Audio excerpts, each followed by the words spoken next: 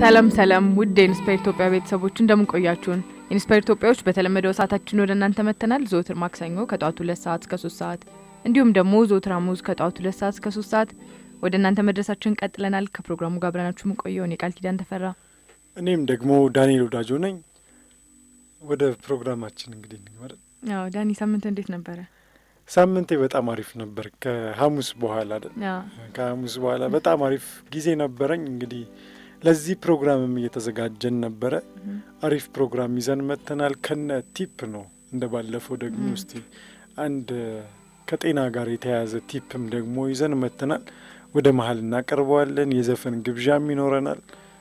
ጥሩ ፕሮግራም እንግዲህ ተዘጋጅተናል ብዬ አስባለሁ። በሚገባ በጣም ቆንጆ ሳምንት ነበረ። እንግዲህ በባለፈው ሳምንት ሰዎች ምን ይሉናል ስለሚል ሀሳብ ምን ይሉናል በማለት ራሳችንን ስለ መጎተት ልባችንን ሳለመከተል ስለ እንደዚህ ሀሳቦች እያወራን ነበረ። እንግዲህ በአሁኑ ሳምንት ደግሞ ከእሱ ጋር ተያያዥነት ያለው ርዕስ ይዘን መጥተናል። አዎ ሰዎች ምን ይሉኛል ብዙ ተወርቶበታል። ሰዎች ምን ይሉኛል በማለት ማንነታችንን ማጣት፣ ራሳችንን ማጣት ሰዎች ምን ይሉኛል ወይ እነሱ እንደዚህ ቢፈቅዱልኝስ ወይ እንደዚህ ባይሆንስ እያለን ሰዎች ስለ እኛ ምንም ትኩረት ላይ ይሰጡን ይችላል፣ እኛ ግን ትኩረት ይሰጡናል በማለት ብቻ በሀሳባችን እየሳለን የምንፈልገውን ነገር ሳናደርግ የምንቀር በጣም ብዙዎች ነን። ከፍላጎታችን የምንቀር ምናልባትም በምንወዳቸው ሰዎችም ሊሆን ይችላል። የምንወዳቸው ሰዎች የሚሉንን ለመሆኑ ስንል እኛ የምንመኘውን ነገር ንተውና መጨረሻ ላይ ደግሞ እድሜያችንም የገፋ ሲሄድ ያው ከኖርን እድሜያችን መግፋቱ አይቀርም አይደል? ቃልም ትንሽ እድሜዋ ገፋ ብሏል። ከገፋ በኋላ ነው ስራ የሚጀመረችው ይባላል። እንግዲህ የሚወራባት ነው። ይሁን እሺ፣ ጸጋ ነው ጸጋ ነው። እድሜ ጸጋ ነው። እንግዲህ ሀያ አንድ አመት አይደለችም። እንቀጭ ቀጩ ነው የምንናገረው። ስለዚህ ያው እድሜም ከገፋ በኋላ ተመልሶ ለምንወደው ሰው ከሰራንም በኋላ ተመልሰን እኔ የምፈልገውን አልኖርኩም በማለት ብዙ ብስጭቶች ይመጣሉ፣ ብዙ ንዴቶች ይመጣሉ። ሰዎች የሚፈልጉትን ሰው እንደከለከላቸው ሲያስቡ ብቻ ብዙ ነገር ያጣሉ እና ያንን ነገር ካሁኑ በመተው ካለንበት ሁኔታ ካለንበት ቦታ በመተው ምናልባት ሰው ምን ይለኛል እስከ ዛሬ ኖረንበት ሊሆን ይችላል። አንድ የቻይኖች አባባል አለ። ዛፍ ለመትከል በጣም አሪፉ ጊዜ ከሀያ ዓመት በፊት ነበር፣ ቀጣዩ አሪፍ ጊዜ ግን አሁን ነው ይላል እና ከአሁን ጀምረን ራሳችን የምንለውን ልባችን የሚለውን ከምንም ነገር በላይ ልብን ማድመጥ በጣም ወሳኝ ነው እና ልብ ይናገራል። ስለዚህ ልብን ማድመጥ በጣም ወሳኝ ነው። ራሳችንን ስናደምጥ የገዛ ስህተቶቻችንንም ለማረም በጣም ይቀልናል እና ራሳችን እንከተል ብለናል። እውነት ነው። በቀኑ መጨረሻ የምንቀረው እኛ ነን። ስለዚህ ራሳችን ለመከተል ጊዜው ረፈደብኝ ማለት አይቻልም። በስልሳ አመቱም በሰባ አመቱም ትልቅ ቦታ የሚደርስ የራሱ መንገድ የሚጀምር ሰው አለና እድሜ መቼም አይረፍድም። እስካልሞትን በህይወት እስካለን ድረስ ሁሌም የኛ ጊዜ ነው። ስለዚህ ባለን ጊዜ እንጠቀምበት እንላለን። ዛሬ ደግሞ እንግዲህ ዛሬ ይዘን ከመጣ ነው ሀሳብ ከመጀመራችን በፊት እንዴት ነው ሳናመሰግን ይሆናል? ቀደምከኝ ዛሬ አስተዋል እድሜ ነው መሰለኝ ትንሽ መርሳቱም ሳትጀምር አልቀረች። ሲገፋ እንደዚህ ነው ሲገፋ እንደዚህ ነው። እውነት ነው እውነት ነው። ስለዚህ እንግዲህ ቃል ብትረሳም እኛ አንረሳም። ምስጋና የሚረሳም ነገር አይደለም። እኛ ወጣቶች አንረሳም። እውነት ነው። ወጣት የነብር ጣት ይባላል። ወጣት ነው እንግዲህ ለሁሉ ነገር energy አለን እኮ ወጣት ስንሆን የፈለግነውን ነገር ለመሆን ደስ የሚል energy አለን። እንደውም ያ energy ሲበዛ ችኮላም ይሆናል እንጂ ትልቅ ጉልበት አለን የፈለግነውን የማሳካት። ወጣት ስንሆን ነጻ ነን፣ ምንፈራው ነገር የለም። አንዳንዴ ወጣትነት ውስጥ ደስ የሚለው ነጻነትም ነው። እና ያው አንዳንድ ሰዎች ደግሞ ይሄን ነጻነታቸውን አሳልፈው ለሰው ይሰጡና በመጨረሻው እድሜ ያንን ነጻነት በተጠቀምኩበት ምን ነው ያንን ባደረግኩት ይላሉ። ስለዚህ ያንን ከማለት እንግዲህ ወጣትነታችን እንጠቀምበት። ወጣትነት ውስጥ ነጻነት አለ። የፈለግነውን ብናደርግ ወድቀን ብንነሳ እንደርሳለን። አንዳንዴ ከችኮላም አንጻር አሁኑኑ ይሄ ነገር ካልሆነ ከማለት አንጻር የማንፈልገውን ነገር እናደርጋለን። በማንፈልገው ነጻነት ውስጥ ራሳችን እናስራለን፣ በማንፈልገው እስር ቤት ውስጥ። ስለዚህ በወጣትነት ነጻ መሆን አንድም ትልቁ ነገርም ድፍረት በጣም ወሳኝ ነገር ነው። ፈጣሪም ደግሞ ደስ የሚለው ነገር ከፍርሃታችን ጀርባ ነው ቃል ስጦታዎች ያስቀመጠ። ሁሉም ስጦታዎች ከፍርሃት ጀርባ ነው ያሉትና ወጣት ሆነን ደግሞ ስንፈራ ያቺን ስጦታ ተከለከልን ማለት ነው እና በቻልነው መጠን እንግዲህ ደፋር መሆን ጥሩ ነው። የምናምንበትን ማድረግ ያመንክበትን አድርገህ ስህተት ቢሆን ይሻላል። ቢያንስ ትንሽ ከፍ ስትል በቂ ስህተቶች ይኖሩና ትክክለኛውን መንገድ ማግኘት ቀላል ነው እና አንዳንዴ ትክክለኛውን መንገድ ማግኘት ጥሩ ነው። ለትክክለኛው መንገድ መስራት ጥሩ ነው። ካለመሳሳት ግን አልሳሳትም ብሎ ምንም ላለመሳሳት ከመጣር መሳሳት ያለ ነውና ሰው ከስህተቱ ከተማረ ስህተት አይባልምና እንደውም እኮ class ድሮ እየተማርን የትምህርት የ class ፈተናዎች ላይ X ሲገባብን ወይ ዝም ብሎ test ኦች ላይ X ሲገባ final ላይ አንሳሳተውም። X ኡን ተመልሰን ካየነው። እዚህ ጋር እንግዲህ ይሰመርበት። X ኡን ተመልሰን ካየነው አንሳሳትም። ካላየነው ደግመን እንሳሳታለን። ግን ስለዚህ የ class ፈተናዎች ነው አሁን ያሉብንና በተለይ ወጣት ሆነን እሱን X ቢገባም ችግር የለውም።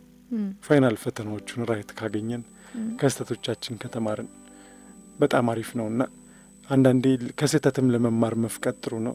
ትልቁ የስራ ጠላት perfectionist ነው ወይም perfectionism ነው።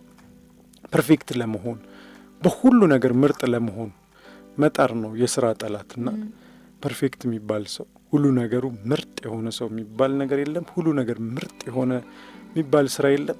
እንደውም አብዛኞቹ ውሳኔዎች ሀምሳ percent ትክክል ሀምሳ percent ስህተት ሊሆኑ ይችላሉ። ከገባም በኋላ ነው ሀምሳ percent ኡን ስልሳ እያደረግነው እያሳደግነው የምንሄደው እና ፍርሃት እንዳይጎትተን ወደፊት እንሂድ፣ ደፋር እንሁን። ከዛ በተጨማሪ ደግሞ አመስጋኝ እንሁን። እያንዳንዱን ስህተቶቻችንን ፈጣሪ ሁሉን ነገር ከጠየቅነው በኋላ በራሱ መንገድ ይመራናልና የጠየቅነው አንዳንዴ የጠየቅነው ነገሮች ይሳካሉ። አንዳንዴ የጠየቅናቸው ነገሮች ጋር ለመድረስ ያልጠየቅናቸው ነገሮች ደግሞ ወደኛ ይመጣሉ። አንዳንዴ የጠየቅነው ነገር መጥፎ ይሆንና ለእኛ የሚጠቅም ነገር ይሰጠናል። አንዳንዴ ደግሞ ሳንጠይቀው ግን ትናንሽ ነገሮች በጣም ትናንሽ ነገሮች የሚመስሉን ብቻ ፈጣሪ አድርጎታል ሆኗል እና እዛ ቦታ ተቀምጠናል። እዛ ቦታ እንድንቀመጥ ያደረገን በፈጣሪም ተአምርና በፈጣሪ እገዛ ነውና ማመስገን እንግዲህ ማመስገን ብዙ ነገር ያስብላል። ቃል ሀሳብ ካለሽ አየር ያስኩ ሰዓት የአየር ሰዓት ብዙ ያስኩ ሀሳብ እያቀረብኩ ስለሆነ ችያለሁ። እሺ እንግዲህ ስለማመስገን ሁል ጊዜም እንደምንለው ስናመሰግን ካሉን በረከቶች ላይ ሌሎች በረከቶች ይጨመሩልናል። ያው ያለው ይጨመርለታል፣ የሌለው ደግሞ ያው ካለውም ላይ ይወሰድበታል እንደሚባለው ስናመሰግን ሰውን እንኳን የሆነ ነገር ሲያደርግልህ ሁልጊዜ ያ ሰው ለአንተ ጥሩ ጥሩ ነገር እያደረገልህ ሁልጊዜ ማታመሰግነው ከሆነ እየደከመው ይሄዳል። አንተ ምንም ነገር ማድረግ ያው ፈጣሪ እንደ ሰው ነው ማለታችን ባይሆንም ግን ፈጣሪም ለሰጠን ነገር ለእያንዳንዱ ነገር ምስጋና ስናቀርብ ያሉኝ ነገሮች እጅግ በጣም ውድ ናቸው ብለን ለማመን ነውና ውድነታቸውን እናከብርለታለን። ስለዚህ እሱም ደስ ይለዋል። ካለን ነገር ላይም ደግሞ ተጨማሪ ነገሮችን ይሰጠናል ብለን እናምናለን። ስለ ምስጋና እንግዲህ ሌላ የምትለው ከሌለ ዛሬ ወደ ዛሬው ሀሳብ እንግባ። ምስጋና ብዙ ይባልለታል እና አመስጋኝ እንሁን። ያለንን ነገር አይተን እንውጣ።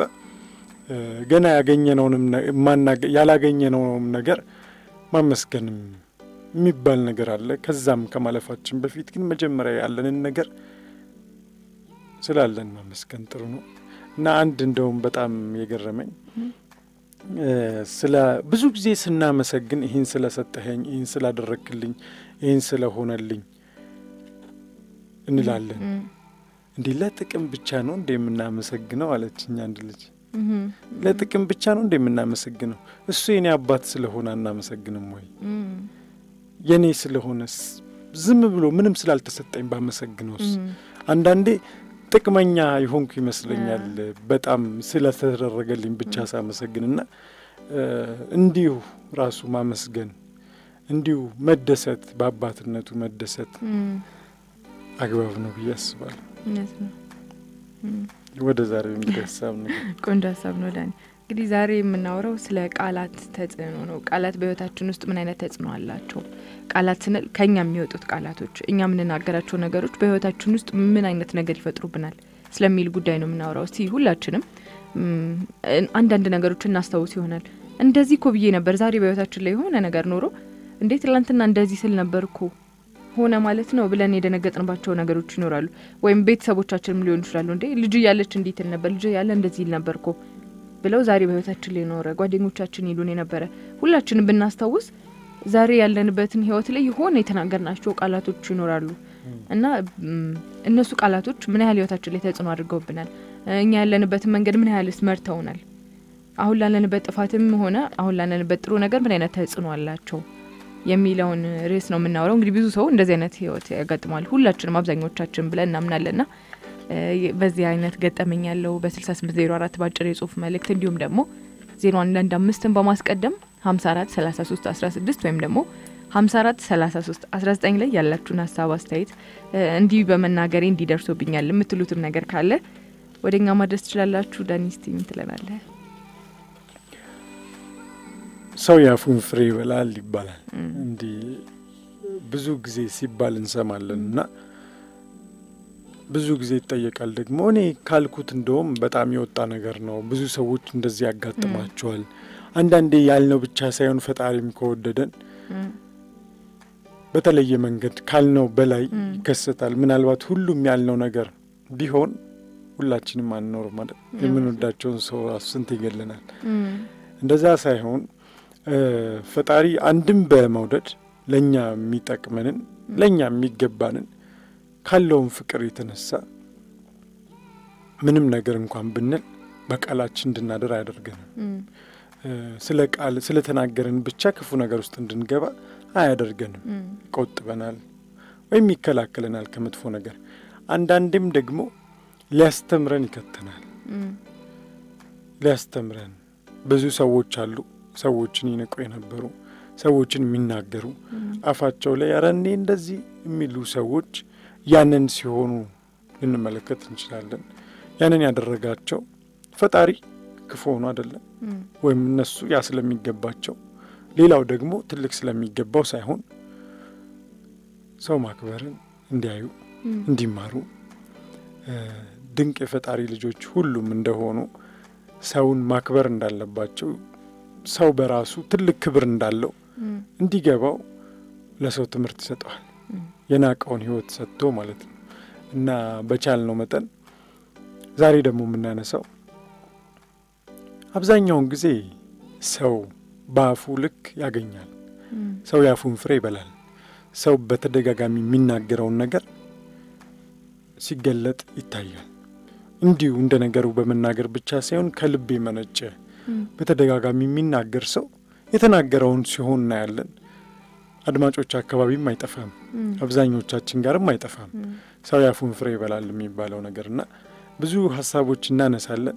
የአፋቸውን ፍሬ ይበሉ ትልቅ ስኬት ላይ ደረሱ። በዛው ልክ ደግሞ ያልጠበቁትን ህይወት ያገኙ ማን ነው የጠበቁትን ያው መጥፎ ነገር ያገኙ እንደሚናገሩት የሚኖሩ ብዙ ሰዎች አሉና ጥሩም እናነሳለን ያለውን ነገር እስቲ እናነሳለን አብረን ከአድማጮች ጋር አድማጮቻችንም እንግዲህ አስተያየት እንዲሰጡን እንፈልጋለን በዜሮ አስራ አንድ አምስት ሀምሳ አራት ሰላሳ ሶስት አስራ ስድስት ወይ በዜሮ አስራ አንድ አምስት ሀምሳ አራት ሰላሳ ሶስት አስራ ዘጠኝ ላይ ማንኛውንም አስተያየት በአጭር የጽሁፍ መልክ ደግሞ ስልሳ ስምንት ዜሮ አራት ላይ አስተያየታችሁን ስጡን።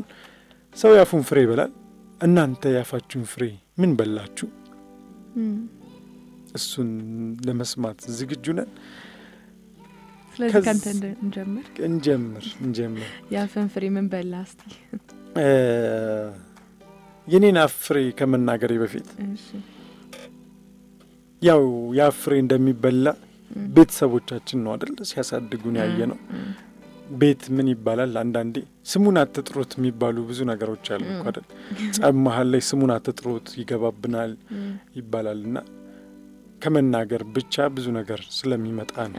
ከአፋችን የሚወጣው ቃል ቀላል አይደለም። በልባችን አስበን በአፍ አለማውጣትም መልካም ነገር ነው እና ስሙን አትጥሩት፣ ቤቱን ይረብሻል ይባላል። አሁን ስሙን ከጠራሁት ስቱዲዮ ይረብሽብናል።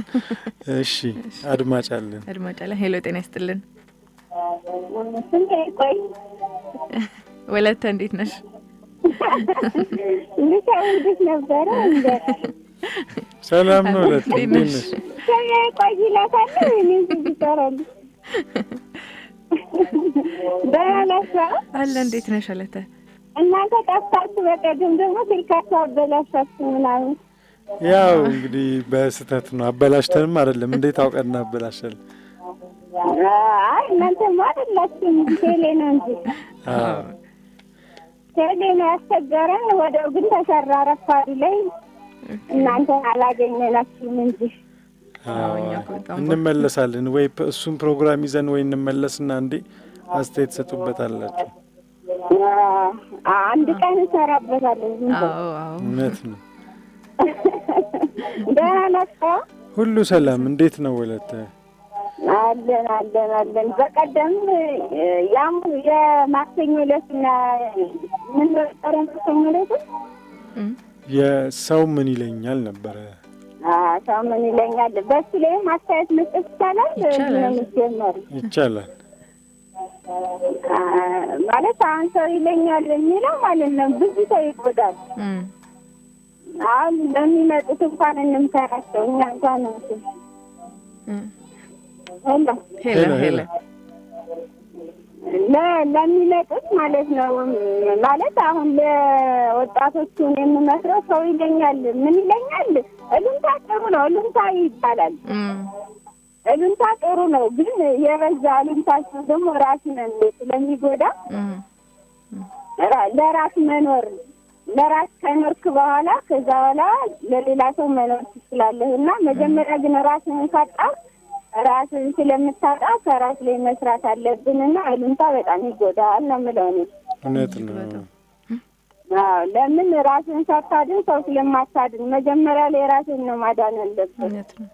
ለሰው ስትኖር መኖር ጥሩ ነው፣ እሉንታ ጥሩ ነው፣ ግን ሲበዛ ደግሞ ራስን ስለሚገልም እም፣ ራስን ከማዳን አለብህ ነው የምለው። ይሄ በጣም የበዛው በጣም የበዛው እሉንታ እኔ በ- ይሄን በዚህ ልለፈው። እም፣ በዛሬ ደግሞ ቃል በሚለው ነው አዎ ያፈን ፍሬ አበላለሁ ይላል ጌታ። ቃል ጥሩ ነው። ቃል ቃል በብዙ ነገር እንትን ይላል። ቃል ማክበር ይለዋል። ቃል ደግሞ እንደገና ደግሞ የምትፈልገውን ነገር በቃል ነው የምጠይቀው። ፈጣሪህንም ምኞትህንም በቃል ነው የምጠይቀው እና እንደኔ እንግዲህ አመለካከት ሊሆን ይችላል። ሄሎ የኔ አመለካከት ሊሆን ይችላል እና ቃልን በ- ማለት ትለምንበታለህ ምግብ እም፣ ደግሞ የምትፈልገውን ነገርም ትመኝበታለህ። ከሰዎችም ጋር ደግሞ ቃል ተገባብተህ ደግሞ ጥሩ ነገሮችንም ታስሄድበታለህ። ቃል ሲሰበር መጥፎ ነው። ቃል ብዙ ነገሮችን ይሰብራል። የቃላት ስብራት ብዙ ነገር ያደርሳል። በሰው ልጅም በአገርም በሁሉም ነገር የቃል ሰበራ ሰው እንትን ይላል ይሰብራል። ነው። ለመሰለህ ቃላችን ነው የምንናገረው ነገር። አንደበታችን። ፈጣሪም እኮ ማለት ነው የማይሆን ነገር ስንናገር አይመስል ይሆናል እም፣ ለምን? አንተ ጥሩ ነ አሁን አንድ ሰው ጥሩ ነገር ሲናገር ጥሩ ነገር ሲመኝል ነው የምትወደው? ወይስ ሲቆጣ ሲሰድብህ ምናምን ነው? አይደለም። እና ቃል የሚባለው ነገር ከባድ ርዕስ ነው። እስኪ ደግሞ ሌሎች አድማጮች የሚሉትን እሰማለሁ። አመሰግናለሁ። በጣም እናመሰግናለን። እኛም ወለተ ወለተ እንግዲህ ዘወትር አድማጫችን ናት። ሁልጊዜም ቢሆን ጥሩ ጥሩ አስተያየቶች ትሰጠናለች። በጣም እናመሰግናለን። እንግዲህ ስለ ቃላት እያወራን ነው። የአፍህን ፍሬ ትበላለክ እየተባባልን ነው አዎ ምን እያነሳን ነበረ? ስሙን አትጥራው ቤታችን ይገባል። ስሙን አትጥራው እቃ የሚጨርስብናል ይባላል። እኔም አሁን ስሙን ከጠራሁት ስቱዲዮቻችንን እቃ እንዳይጨርስብን ብለን አልፈነዋል እና ስለዚህ እንግዲህ ቃላት በጣም ወሳኝ ናቸው። በተለይ የምንናገራቸው ቃላቶች በተወሰነ መልኩ ጥንቃቄ ማድረግ በጣም ወሳኝ ነው። ምክንያቱም ሰው የአፉን ፍሬ ይበላል። አይ እኔ እግዚአብሔር ያደረገውን ያደርጋል መጀመሪያም እግዚአብሔር ያውቃል የሚል ሰው አይጠፋም እና አዎ እግዚአብሔር ያውቃል፣ ግን ሰው ያፉን ፍሬ ይበላል። እና በቻልነው መጠን የምንናገራቸውን ቃላቶች መቆጣጠር በጣም አሪፍ ነው። እኔ ሰንፍ ያለው እኔ ሰነፍ ነኝ፣ እንደዚህ ሰንፍ ያላቅም ችግር ውስጥ ነኝ በተደጋጋሚ ባልን ቁጥር ከዛ ስሜት ለመውጣት በጣም አዳጋች ይሆንብናል። ምክንያቱም ሰንፍ ያለው እያለ ጠንክሮ መስራት ትንሽ ያስቸግራል እና ለራሳችን የምንናገራቸው ቃላቶች በጣም ወሳኝ ናቸው። ቃል እስቲ ሀሳብ ካለሽ አንሺ። እኔም አሪፍ አሪፍ የሚያዝናኑ ሀሳቦች አሉኝ እናነሳለን። ያው እንዳልከው ነው ዳኒ፣ ሰንፍ ያለው ቃላቶቻችን እኛን ይቆጣጠሩናል። እንደውም ፈጣሪ የልቤን ያውቅ የለ እንዴ እንላለን ግን የልባችንን ብቻ አይደለም የአፋችንንም እኛ እንዲቆጣጠረን የምናደርግበት አጋጣሚ አለ። ለምሳሌ እንዳልከው ሰነፍ ነኝ ካልን እኔ ኮ ሰነፍ ነኝ እኔ ኮ ቶሎ ይደክመኛል ካልን ቶሎ መድከም ለኛ ቀላል ነው። ምክንያቱም ጠንካራ ነኝ ብለን ስላልተናገርን ጠንካራ የሚያደርገን ምንም ምክንያት አይኖረንም። ስለዚህ ሰነፍ ነኝ ካልን በቃ already ሰነፍ መሆናችን ያሳውቀናል። ችግር የለውም ብንሰንፍም አይነት ስሜት አለው። ደካማ ነኝም ስንል እንደዛው ባልን ቁጥር ይቆጣጠረናል። አሁን ለምሳሌ ዝም ብለህ ቀላል ነገር ወይኔ ኮ ምግብ አልበላም ወይኔ ኮ እንደዚህ ነኝ የሚል ሰው ምግብ ቀርቦለት መብላት ያሳፍረዋል አይደለ? በቃ አልበላም ብሏል already። ስለዚህ ቢርቦ ምንም ቢለው የሆነ የተናገርኩትን ቃል ከማጥፍ ምን ይሉኛል በሚል ሀሳብም ጭምር ራሱን እንትን ይገድበዋል። ስለዚህ ባለን እንቅስቃሴ ውስጥ ራሳችን በራሳችን እንቆጣጠረዋለን። ደግሞ ስልጣን ተሰጥቶናል አይደል? ራሳችን የምንገዛበት ስልጣን። እሺ hello አድማጫ hello፣ ጤና ይስጥልን። hello ዳንዬ፣ ደህና አደራችሁ? ደህና አደርሽ? እንዴት ናችሁ? ሁሉ ሰላም? ፕሮግራማችሁ በጣም ይመቸኛል። በጣም እናመሰግናለን። አዎ እኔ ከዚህ በፊት የደረሰብኝን እኮ አሁን ምን ይሉኛል በሚለው ነው። እሺ እሺ ምን ይሉኛል ብዙ ጎድቶኛል። እኔ okay ብዙ ብዙ ጉዳት አድርሶብኛል እና ምን ይሉኛል ማለት በጣም አስቸጋሪ ነው። በምን ይሉኛል ልጅም ማጣት አለ። okay እንዴት ነበር? አንድ ነገር እንኳን ብታጫውችን ወይ ቢያጫውቱን። አይ እኔ ብዙ ብዙ ነገር ደርሶብኛል። በቃ ምን ይሉኛል፣ አንድ ነገር ሳለ ምን ይሉኛል፣ የሆነ ነገር ሳለ ምን ይሉኛል። እኔ ጓደኞች ከኔ በልጠዋል። እኔ ግን ብዙ ብዙ ነገር ቀረብኝ። ብዙ ነገር ዳንዬ ልነግርህ አልችልም። ብዙ ጊዜ ሰጥቼ እደውልላቸዋለሁ። ኦኬ እሺ፣ አንድ ፕሮግራም ወይ እናዘጋጅና ምን ይሉኛል በሚል ርዕስ በደንብ እንወያይ በደንብ እንወያይበታለን። ያኔ ሀሳብሽን እንጠብቃለን። እናመሰግናለን። እናመሰግናለን። እሺ ልቀጥል? ትቀጥል? ቀጥል። ካፌ ልቀልቢን ነው የሚመስለው እና ከምንቀላለን። እሺ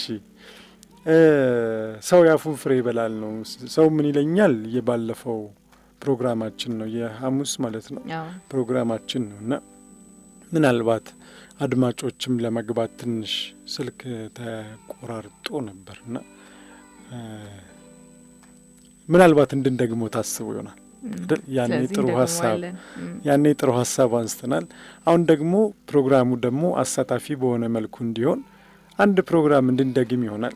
ሁሉ ነገር አጋጣሚ ሳይሆን ለእኛ የተመቻቸ ነው ብዬ አስባለሁ እና በዛ ጉዳይ ላይ ሰዎች ተዘጋጅተው እኛም አዘጋጅተን እንመጣለን። ምናልባት ወደ ቀጣይ ሳምንት እናሻግረውና የዛሬውን ሀሳብ እንቀጥል። ከዛ ደግሞ እስከ ሐሙስ ላይም ደግሞ ያሰብነው ሰዎች ለእኛ የሚናገሩትንም ቃላት ምን ያህል በጣም ለእኛ ወሳኝ ናቸው። ለዛሬ እኛ የምንናገራቸው ቃላቶች ምን ያህል ለእኛ በጣም ወሳኝ ናቸው ነው።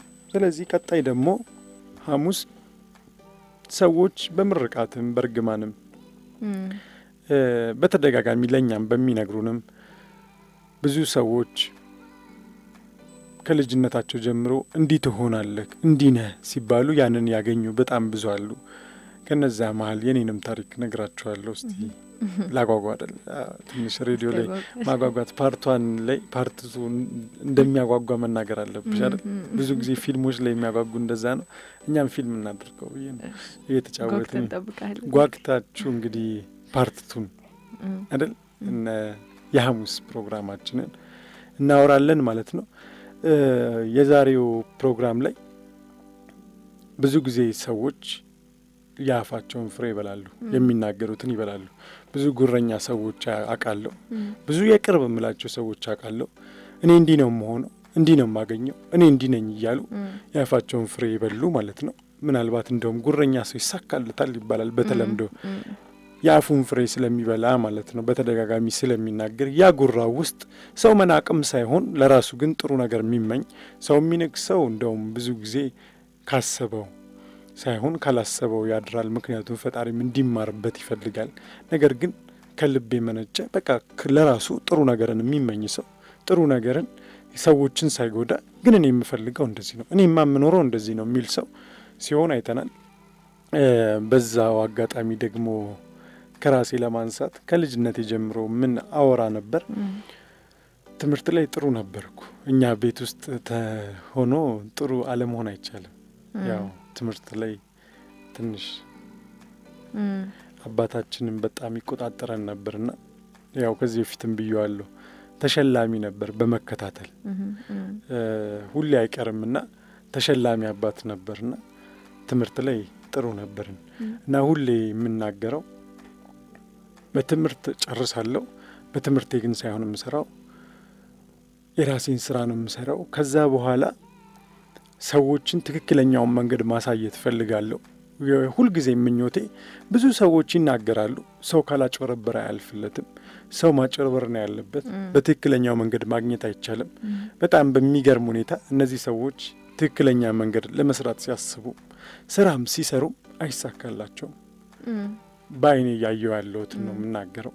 ካላጭበረበረ አያልፍም የሚል ሰው ዘግቶታል ስራ ሲሰራ። እኔ ሁሌም ኢትዮጵያ ውስጥ እንደሚሳካ ሁሌም የማወራው ጓደኞቼ ጋር የምታወቀው ያው ለሬዲዮ ለእንትን አይደለም ለድምቀትም ሳይሆን ሁሌም የማነሳው ከኢትዮጵያ ውስጥ ምንም የሚነቅለኝ እንዲኖር አልፈልግም። ምክንያቱም ኢትዮጵያ ውስጥ ብዙ ነገር እንዳለ አውቃለሁ። ብዙ መፈታት ያለባቸው ነገሮች አሉ።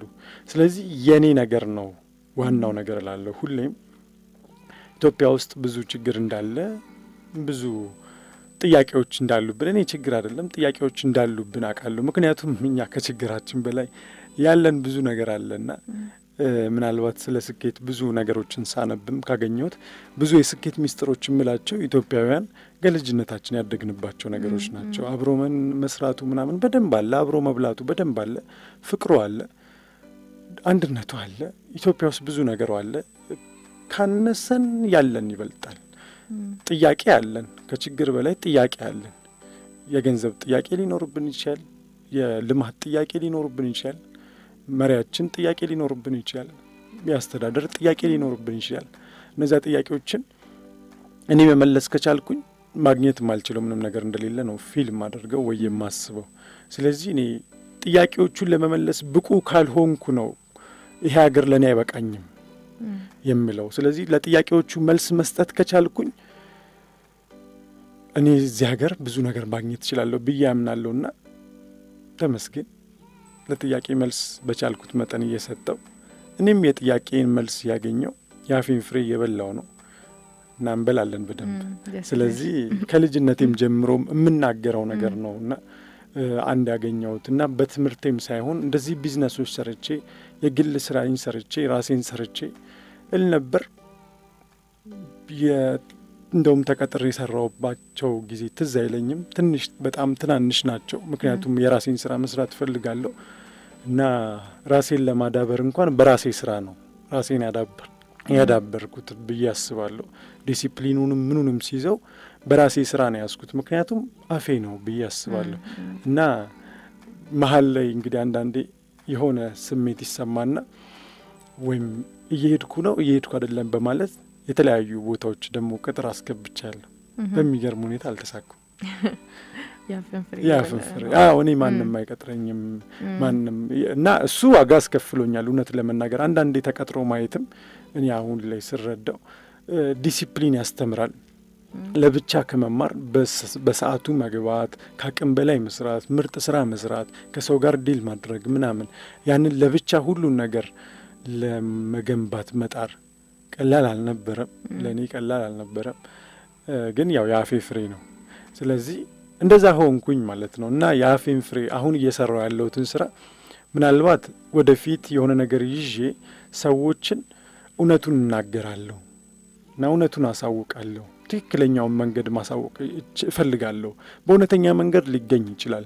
በእውነተኛ መንገድ መስራት ይቻላል እና በሀቅ የሚሰራ በጣም ብዙ ሰው አለ። ምሳሌ መሆን እፈልጋለሁ። አቅራቢያ ይላሉም ሰዎች ለኢትዮጵያም ሕዝብ እስከሚቻለው ድረስ ደግሞ ለዓለም ሕዝብ እና ኢትዮጵያውያን ምን ያህል ድረስ መድረስ እንደሚቻሉ ማለት ነው እና በሱ ስራ ግን ኑሮዬን መስራት ጀመርኩ። አንዳንዴ ያ ፍሬም ደግሞ ሲበላ ጥሩ በተመኘን ቁጥር ፈጣሪ ደግሞ ይባርከዋል። እኛ ካሰብነው በላይ ይባርካል እና ተባርኮልኝ እኔ ባልኩት ብቻ ሳይሆን ፈጣሪም ገብቶ ብዙ ነገሮችን አስተካክሎልኛል ብዬ አስባለሁ እና ያ ፍሬ እኔ በደንብ አምንበታለሁ። በቻልኩት መጠን አፌን እቆጣጠራለሁ። ምንም ያህል ስሜት ቢሰማኝ ከአፌ የሚወጣው ነገር ግን መልካም እንዲሆን የተመቸ እንደሚሆን ቤትም እኛ ቤትም አይቻልም። እውነት ለመናገር ዝም በል እንባላለን። ቤት ስናድግም መጥፎ ነገር ስናወራ ማዘር በተለይ ዝም በሉ ትላለች። ተው አፍህን ቆጥብ ስንባል ነው ያደግ ነው እና አፋችንን ቆጥበናል።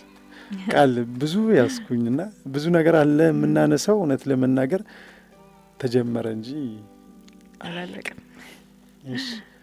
እጅግ በጣም ደስ ይላል ዳኒ። ያው ሁሉም ሰው በአንድም በሌላም አጋጣሚ ያፉን ፍሬ ነው የሚበላው። ቆመም ድንገት ብናየው የሆነ ጊዜ የሆነ ነገር ተናግረ ነው ነበር። በተለይ በተደጋጋሚ ጊዜ የምንላቸው ነገሮች እኛን ይገዙናል። እንደውም እኛ ሀገር ምንድን ነው ሰው ስለ ራሱ ማድነቅ አይችልም። እኔ እኮ ጎበዝ ነኝ፣ እኔ ጠንካራ ነኝ፣ እኔ እንደዚህ ይችላለሁ ማለት ይሄ ምን አይነት ጉረኛ ነው? ምን ሆኖ ነው እንደዚህ የሚያወራው? እንደዚህ ይባላል እንዴ? ሰው ያድንቅህ እንጂ እንዴት አንተ ራስን ታደንቃለህ? እንባላለን እና ራሳችንን ማድነቅ ምንድን ነው ብዬ አምናለሁ። ፈጣሪ እኛን ሲፈጥረን በራሱ አምሳል ነው የፈጠረን። ስለዚህ ድንቅ አድርጎ ነው የፈጠረን። ሁሉን ነገር እንድንችል ፈቃዱን ሰጥቶናል። ሁሉን ነገር ማድረግ እንድንችል የሁሉም ነገር ገዢ ነን እኛ እዚች ምድር ላይ ስንኖር። ስለዚህ ሰው ሆነ እስከተፈጠርክ ድረስ የሁሉም ነገር ገዢ እስከሆንክ ድረስ የፈጣሪ አምሳል እስከሆንክ ድረስ ምንም ነገር ማድረግ ትችላለህ። ስለዚህ ፈጣሪ ይሄን አቅም ሰጥቶኛል እችላለሁኝ ማለት ነው። ጥሩ ነገር ባወራህ ቁጥር እንዴ እኔ የፈጣሪ ሀምሳሌ አይደለሁ እንዴ በሱ ሀምሳሌ እንዴ የተሰራሁትኝ እችለዋለሁ፣ ለምን ይከብደኛል ማለት ነው። ስለዚህ አንተ አክብረኸዋልና ያከብረሃል። የተሰጠህን ነገር ስታከብረው ነው። የተሰጠህን ነገር ጥሩ ነገር ስታወራበት ነው። እኔ እንደዚህ እኔ እችላለሁ። አልችልም የሚባለውን ቃል ራሱ ማውጣት የለብንም። ምክንያቱም በቃ ሰው ሆነን ተደርገናል፣ በሱ አቅም ተሰጥቶናል። ስለዚህ ጥንካሬያችንን እምነታችን በዛው ልክ እስከሚሆነ እስከሆነ ድረስ ማሸነፍ ምንም አይከብደንም። ስለዚህ ያው የራሳቻችንን ቃል አፋችንን መቆጣጠር። አድማጮችም እስቲ ሀሳባችሁን አስተያየታችሁን ስጡን በዜሮ አስራ አንድ አምስት ሀምሳ አራት ሰላሳ ሶስት አስራ ስድስት ወይ ዜሮ አስራ አንድ አምስት ሀምሳ አራት ሰላሳ ሶስት አስራ ዘጠኝ ላይ አስተያየታችሁን ስጡን። የአፋችሁን ፍሬ ምን በላችሁ? በስልሳ ስምንት ዜሮ አራት ያጭር የጽሁፍ መልእክት ላኩል፣ እናነባዋለን። ወደ እናንተ ደግሞ መልሰን እናደርሳለን። በዚህ አጋጣሚ ደግሞ ይህንን የመሰለ የሰዎች ህይወት ላይ የሚሰራ የሰዎች ህይወት ላይ መስራት ብቻ ሳይሆን ከሰዎች ህይወት ተምረን የምናስተምርበትን ፕሮግራም ስፖንሰር ማድረግ የሚፈልግ ማንኛውም ድርጅት በ0921 73 42 74 ላይ 0921 73 42 74 ላይ ማግኘትና ማናገር ይችላል። ስለዚህ ሰው ያፉን ፍሬ ይበላልን። ትንሽ ደግሞ ያዝ እናድርጋትና የዕለቱን የጤና tip ትንሽ ልስጥ ብዬ አሰብኩ። ባለፈው ስለ ውሃ ጥቅም አንስተናል። አድማጮች እኛም እየጠጣን ነው። መሀል ላይ እንደውም እየጠጣን ነው ስል እኔም መሀል ላይ አቁሜ መጠጣት አማረኝና ውሃ እየጠጣችሁ አድምጡን። ቢያንስ በዚህ ሰዓት ላይ ፕሮግራሙ ሲጀምር አንድ ብርጭቆ ሲጨርስ አንድ ብርጭቆ ብጠጡ በቀን ውስጥ ከሚጠበቅባችሁ ሁለት ብርጭቆውን ገላችኋል ማለት ነው። ስለዚህ እሱ እንኳን ባይሆን አሁን ከጀመራችሁ ተነስታችሁ ከተመቻችሁ ውሃ ብትጠጡ አሪፍ ነው። ምክንያቱም ጤናንም መጠበቅ በጣም ወሳኝ ነው። ያለ ጤና ስራ ጠንክረን ሰራን ሰው ምን ይለኛለን ተውን ምንም አለን። አልጋ ላይ ሆነን ሰው ምን ይለኛል አልን አላልን ምንም ለውጥ የለውም እና ብዙ ነገር ነው ውሃ የሚጠቅመን። እንደውም አንድ ቪዲዮ ላይ ምን ይላል ራስህን አሞ አይደለም ውሃ ጠምቶ ነው የሚል ቪዲዮ አይቼ ነበርና ውሃ ጠምቶ ሊሆን ይችላል ራስ ምታት የበዛብክ ስለዚህ ውሃ ጠጣ፣ ውሃን ጠጣ። በጣም አሪፍ ነገር ነው። ዛሬው ደግሞ ስለ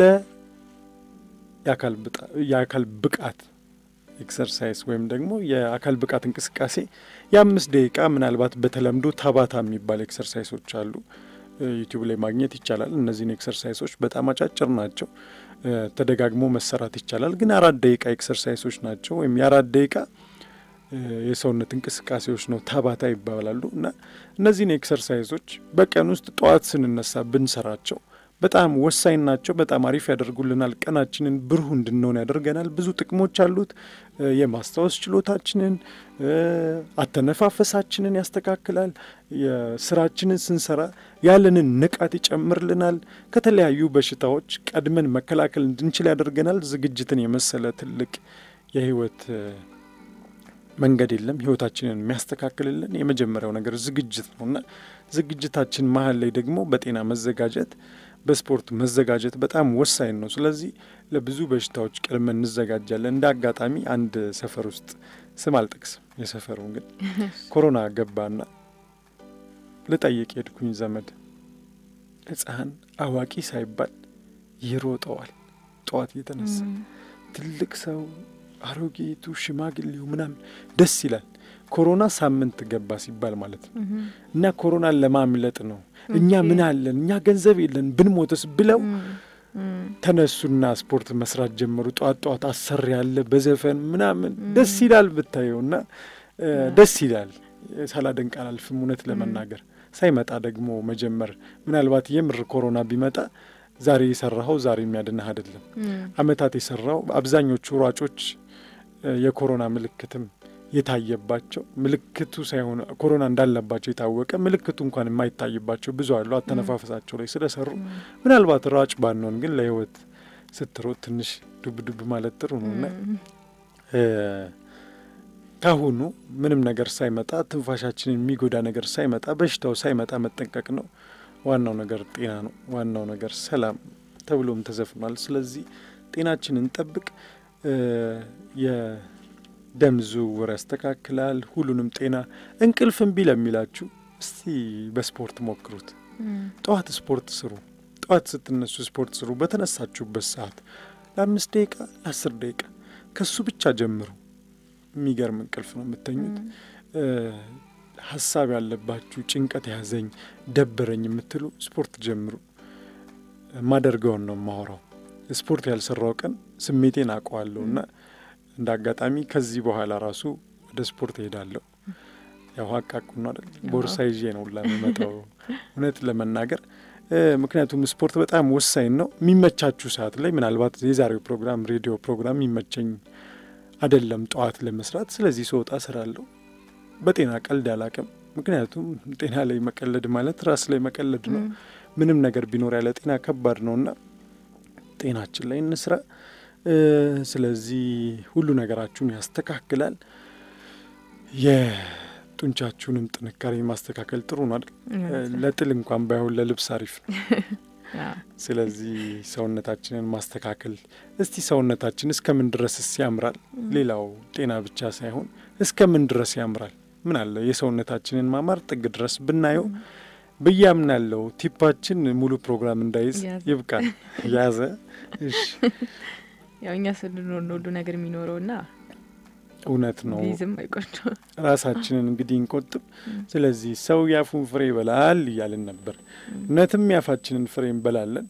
ትናንትና ካጋጠመኝ የምር ልናገር ይሄ ትናንትና ይሄ የልጅነቴ ልጅ እያለሁ ልጅ እያለሁ የእኔ ልጅ እያለሁ ነች ነው። ልጅነት አዎ ረዥም ነው። አታሹፊ አንቺ ታይ እንጂ አይ የምሬን ነው። እውነት እውነት ልጅነት ላይ እኔ ውጪ ስለሆነ ያደግኩት የምር ቤት ስላልሆንኩኝ ብዙ ነገር አይቻለሁ።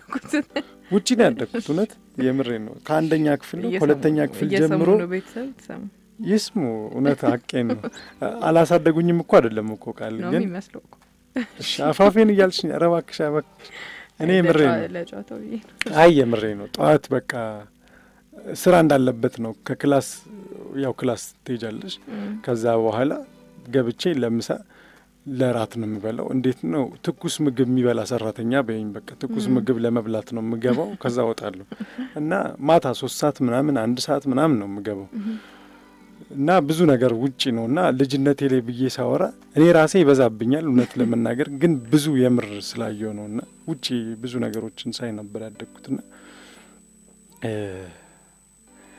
ስለ ልጅነቱ ሳይሆን ወደ ራሴ ሀሳብ ስገባ ትናንትና አንድ ጓደኛዬን እያወራሁት በጣም የሚመኘው የነበረው ነጭ ማግባት ነበር ወይም የውጭ ዜጋ ማግባት ነበር የሚፈልገው እና ስናወራ ሁሌም የምናወራው የነበረው እኔ ከኢትዮጵያውያን ጋር መስማማት አልችልም፣ እኔ እንትኔም አይደለም፣ እኔ ነጭ ነው የማገባው ሁሌ ነው የሚያወራው እና ውጭ ሀገር እሄዳለሁ ሁሌ ነው የሚያወራው። ከሁለት ዓመት አካባቢ በፊት ውጭ ሀገር ሄደ። በጣም በሚገርም ሁኔታ እዚህ ጥሩ ስራ እየሰራ ነበር። ሲሄዱላ ቅር እያለው ነው ሄደው ይሄንን ጥዬ መሄዴ እያለ እንትን እያለው ነው የሄደው እውነት ለመናገር። እና ግን በቃ ሲናገርም ውጪ መሄድ አለብኝ የሚለው ሀሳብ አለ። እና ነጭ ነው ማግባት ያለብኝ። እና ትናንትና እያወራን ጓደኛ ይዟልና የማግባት ፕላን አለው። በጣም ገረመኝና ያው ይህንን ፕሮግራም ለማዘጋጀት ሳስብ ብዙ ጊዜ አንድ ነገር ስናስብ እኔ በተለይ ያጋጥመኛል ብዬ የማስበው የሆነ ነገር ሳስብ ለዛ መልሶች ይመጡልኛል። ለምሳሌ ይህን ፕሮግራም ለማዘጋጀት ሳስብ ቀኑን ሙሉ ክፍት አድርጌ እጠብቃለሁ ራሴንና ይመጣሉ ለዚህ ፕሮግራም የሚሆኑ ነገሮች እና ያው አድማጮችም ደግሞ የምትሰሙ ይህን ነገር ብትጠቀሙት አንድ ፕሮግራም አንድ ፕሮግራም ይኖራቸዋል፣ የስራ ዝግጅት ይኖራቸዋል፣ ምንም ይሆናል ክፍት አድርጋችሁት መጠበቅ ራሳችሁ ታክሲ ውስጥ ስገቡ የዛን ጥያቄ መልስ ልታገኙ ትችላላችሁ። መንገድ ላይ የሄዳችሁ የሆነ ቦታ ታገኙታላችሁ እና እንደዛ ያጋጥመኛል። አንድ ጥያቄ ስጠይቅ እዛው መፍታት ብቻ ሳይሆን ቀኔን እሱን እያሰብኩኝ እያሰላሰልኩኝ ኖረውና መልሶችን አገኛለሁ። ስለዚህ ይህን እንጠቀመውና የልጁን አይቼ በጣም ገርሞኛል። የሚያወራውን ነው ይኖረው እየኖረው ያለው ወይም እያገኘ ያለውና ብዙ ሰዎች አሉ። ትዳር ላይም አንድ ልጅ አጋጥማን ነበር። እንዲህ በግል እያማከርኩ ምን አለች፣ ባሌን ከነ ጉራው ነው ያገኘሁት አለች። ከነ ጉራው ስፖርተኛ ነው እንዲሆን የምፈልገው ስፖርተኛ ሆነ፣ ጉረኛ እንዲሆን የምፈልገው ጉረኛ ሆነ። ሶስት ልጆች ይፈልግ ነበር፣ ሶስት ልጆች አገኘው። ሌላ ምንድን ነበር ያለችን? እስራኤል ሀገር መኖር እፈልግ ነበረ። እስራኤል ሀገር ነው የኖርኩት፣ እየኖርኩ ያለሁት ትዳር መስርቼ የምኖረው እስራኤል ሀገር ነው። ሁሉ ነገሬ የአፌን ፍሬን የበላሁት። አንድም የሆቴል ባለቤት እንደዚህ ስትለኝ በጣም እየገረመኝ ነበር። አንቺ ልጅ አፍሽን የኖርሽው ነው የሚሉኝ። ቤተሰብ ውስጥ የምታወቀው አፏን ነው የምትኖረው። ከአፌ ምንም አይነት መጥፎ ነገር ወጥቶ አያውቅም። ስለ ራሴ የምመኘው ስለ ራሴ የምናገረው ሀብታም ነኝ፣ እንዲህ ነኝ፣ እንዲህ ነኝ እያልኩ ነው እና ራሱን የበላሁት የምር ራሱን የበላሁት ነው ያለችኝ እና የምንናገራቸውን ቃላቶች ራሳችንንም እንዳንረግም ራስን መመረቅ ደስ አይልም። ተዉት፣ ምንም ያስገኛል አያስገኝም ምን እንተውና ራሴን መመረቅ ምን ችግር አለው ብንል ለራሳችን እና እሱ እናነሳለን። እስቲ ቃል ሀሳብሽን ስጪና መጨረሻ ላይ ደግሞ ጠቅለል አረጋለን። እሺ እንግዲህ በጣም ቆንጆ ሀሳብ የተነሳ ነው ስለ ቃላት ተጽዕኖና አፍን ፍሬ ስለመብላት ና እንዳልከው ብዙ ጊዜ እንደዚህ አይነት ሰዎች እኔም አካባቢ እንደዚህ ያጋጥሙኛል። አንዳንድ ሰው ብድግ ይልና እኔ እንደዚህ ነኝ፣ እንዲሁም ወፍራም ሆኖ በጣም ጥሩ አቋም የሌላቸው ለምታስባቸው ሰዎች ሆነው አንዳንድ ጊዜ ራሳቸው በሚሰጡክ ምላሽ እኔ በቃ ጥሩ ነኝ ያለሁት አቋሜ በጣም ነው የሚያምረው፣ የምለብሰው ልብሱ ሊያምርብኛል እያሉ የሚያስቡና እንደዚህ አይነት አመለካከት እንደዚህ አይነት አነጋገር ያላቸው ሰዎች ድንገት ሳታስበው እንደዚህ ሆኑ የሚመስልህ ጊዜ አለ። ምንም ሌላ ሰው መጥቶ ሊደነግጥ ይችላል። በቃ ያምራሉ፣ ቁመናቸው በጣም ነው ደስ የሚለው ልትላቸው ትችላለህ። አንዳንዴ ለራሳቸው በሚሰጡት ግምት ስለ ራሳቸው በሚናገሩት ነገር እኔ እንደዚህ ነኝ፣ እኔ ጎበዝ ነኝ፣ እኔ ጀግና ነኝ ሳይሆኑም ሆን የምንላቸው ጊዜያቶች አሉ። እነሱ በሚሰጡን ምላሽ እኛ ለእነሱ የምንሰጣቸው ክብር ራሱ የተለየ ነው የሚሆነው እና ይሄ ጉራ አይደለም። ሁሌ የምናስበው ጉረኝነት ነው። በቃ ራስን ማድነቁ ጉረኝነት ነው ብለን ነው የምናምነው እና እንዳልከው እንደውም ቅድም እኔ ሀብታም ነኝ፣ እኔ እንደዚህ ነኝ ብላ ነው የምታወራው። አሁን ብዙ ሰው ምን አይነት ጉረኛ ናት፣ ምን ሆና ነው እንደዚህ የምታወራው ብሎ የሚላት ሰው ይኖራል በእርግጠኝነት ግን ለራሷ የምትሰጠውን ግምት ኖረችው። ሰውን በሰጠኸው ነገር በነገርከው በምታወራው ነገር ያከብረሃል። ለራስ በምትሰጠው ምላሽ ያከብራል። ከዛ ቀስ እያለ የሌለህን ነገር እንዳለ ሁላ የሚሆነው ጊዜ አለ። ከዛ በቃ ይኖርሃል ማለት ነው። ስለዚህ ለራሳችን በሰጠነው ልክ ነው የምንኖረው፣ በተናገርነው ልክ ደግሞ እናፍሳለን። እውነት ነው። አሁን እንደውም ቃል ስትይ ብዙ ጊዜ ጥሩ ነገር ስንናገር እኔ ጉረኛ መሆን አልፈልግም የሌለኝን ነገር እንላለን። የአብዛኛው ሰው አንድ መረዳት ያለብን እኛ በፈጣሪ አምሳል ነው የተፈጠረ ነው። በተለያየ ሃይማኖትም ለሰው የተሰጠው ክብር ታላቅና ረቂቅ ነው። እሱን የመሳደብ መብትም የለህም። ራስን የመሳደብ መብትም የለኝም ብለህ ብታስብ ጥሩ ነው። ሰነፍ ነኝ ስትል በፈጣሪ አምሳል እኮ ነው የተፈጠርከው እና እሱ ትክክል ነው አይመስለኝም። ማለት ራስን ብዙ መውቀስስ ማለት ራስን መርገምስ ትክክል ነው? ጥያቄ ውስጥ እንዲገባልኝ ይፈልጋለሁ። አይ ዝም ብዬ ነው የማውራው። አትናገር ራስህን ማለት አትናገሪ ራስሽን። ምክንያቱም ፈጣሪ እስቲ የተሰጠንን ማየት እኔ ቃላት የለኝም ስለ ራሴም ለመናገር ስለ ሰውም ለመናገር ሰው የሚለውን ነገር ለመግለጽ ምን ያህል እንደተሰጠን ምን ያህል ነገሮች እንዳሉን ምንም ነገር አስበን ማድረግ እንችላለን። የተለየ ልቦና ሰጥቶናል። የፈለግነውን ነጻ ሀሳብ አለን። የፈለግነውን የመሆን ምርጫ አለን። የፈለግነውን የመስራት ምርጫ አለን ካሰብንበት። ምናልባት በዚች ፕሮግራም ብቻ ላይ መለስ ይችላል። የሰው ልጅ ግን የፈለገውን መርጦ ነው የሚኖረው። እኔ መርጫ አይደለም ቢለው ያንን መርጦ ነው የሚኖረው። ቆም ብለን ማሰብ ጥሩ ነው። እኔ ምርጫዬ ሳይሆን ህይወት ነው የመረጠኝ። ያንንም ህይወት የመረጥ ነው እኛንን እና ለሁሉ ነገር እኛ ቀድመን መዘጋጀት እንችላለን። ማን ብዙ አትወቃለን? ማን ሰዓትን መድበ አታንብባለን? ማን ሰዓታችንን መድበን አንማራለን? ስልጠና እንውሰድ፣ ራሳችን አናሳድጋለን? ሁሉ ነገር እኛ ነን። የተሰጠ የሚባል ለሁላችንም ተሰጥቶናል። ድንቅ ተፈጥሮ፣ የሚገርም ተፈጥሮ፣ ሁላችንም ድንቅ ነገሮችን እንድናደርግ የተለዩ ነገሮችን ተአምሮችን እንድንሰራ ደስ የሚል ህይወት እንድንመራ ያማረ ህይወት እንድንመራ ለሰዎች ምሳሌ የሆነ ህይወት እንድንመራ ጠንካራ ሆነ እንድንኖር ምን ያልተሰጠን ነገር አለ? ሁሉ ነገር ተሰጥቶናል። ስለዚህ ለራሳችን ጥሩ ቃላት እንናገር። በቃ ጠዋት በመስታወት ስታዩ ቃል ውይ እንዴት ነው ያማረብኝ ብለሽ ብትወጪ ምን ችግር አለው? ደስ አይልም? ዛሬ እንዴት ነው ደግሞ ለየት ያልኩት? እንዴት ነው የማምረው? ዛሬ እንዴት ደስ የሚል ቀን ነው። ዛሬ ጤነኛ መሆኔ እንዴት ደስ ይላል። ጤነኛ ስላረከኝ አመሰግናለሁ። በዚሁ እያመሰግንን እኔ ጤነኛ ነኝ፣ እኔ ጠንካራ ነኝ፣ እኔ ሀብታም መሆን እችላለሁ፣ እኔ ሀብታም ነኝ።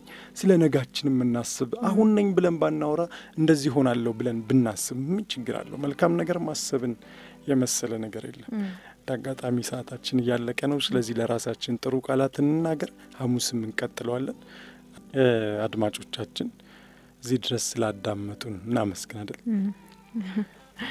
እጅግ በጣም እናመሰግናችኋለን። አድማጮቻችን እስካሁን ሰዓት አብራችሁን ስለቆያችሁ በቻልነው መጠን እንግዲህ ለሚመለከታቸው አካልም አካላትም ውሃ መጠጣት ያስፈልጋልና ታሞ የሚታከሙበትን ከማመቻቸት ውሃ የሚጠጡበትን መንገድ የሚታይ ነገር የሚታይ ቦታ ላይ ሰዎች ሲያዩ የመጠጣት እንትናቸውን ፍላጎታቸውም ይጨምራልና የሚታይ ነገሮች ቢኖሩ መልካም ነው ብለን እናስባለን። እዚህ ድረስ ስላዳመጣችሁን በጣም አድርገን እናመሰግናለን።